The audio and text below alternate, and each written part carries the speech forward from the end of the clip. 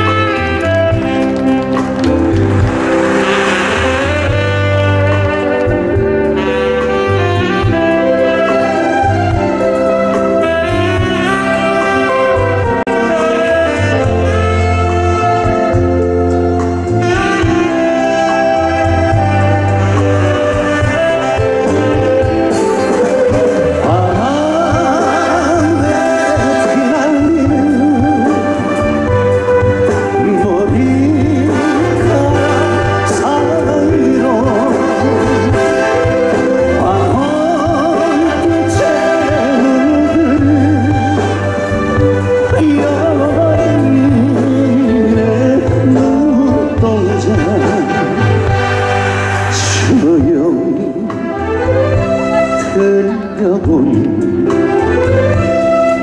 저게들